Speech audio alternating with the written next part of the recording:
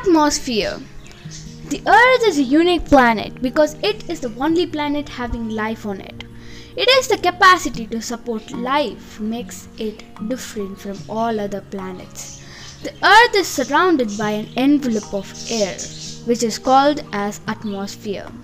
The atmosphere extended to about 1000 kilometers from the surface of the Earth, but 99 of the total mass of the atmosphere is found within the 32 kilometers.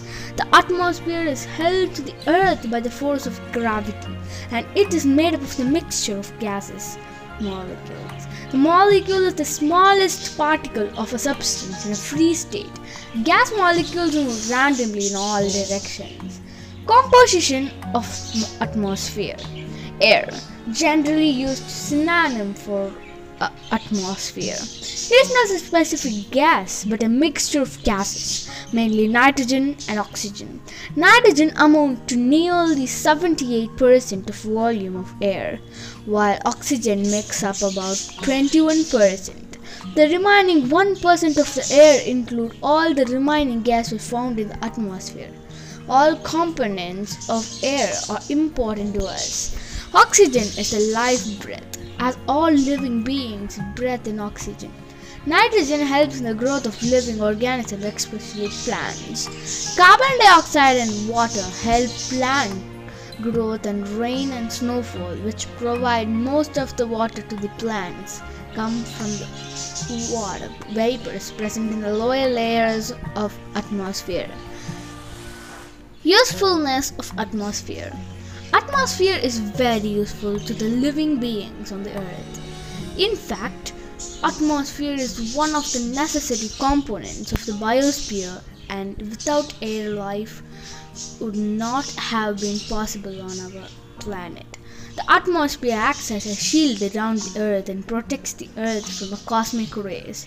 It also acts as a barrier, protecting the earth from the meteors and which can cause a lot of damage of the earth. Meteors entering the Earth's atmosphere appear as shooting stars in the night sky and they get burned before they can reach us. A large number of meteors have hit the moon and left deep scars on the surface of the moon as moon does not have an atmosphere.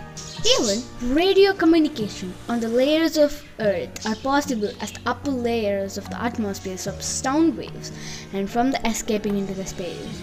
Earth's atmosphere is a critical system of life on our planet. Together with the oceans and atmosphere shapes Earth's cl- climate and weather patterns or makes the Earth habitable by the maintaining of right temperature on the Earth's surface.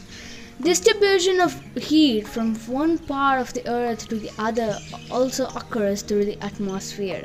The large amount of energy available from the sun in the tropical regions is thus carried to the colder regions, thereby reducing of temperature differences between various parts of the earth. So thank you friends. Meet you tomorrow with part 2 in geography and also the structure of atmosphere will be explained tomorrow. Bye.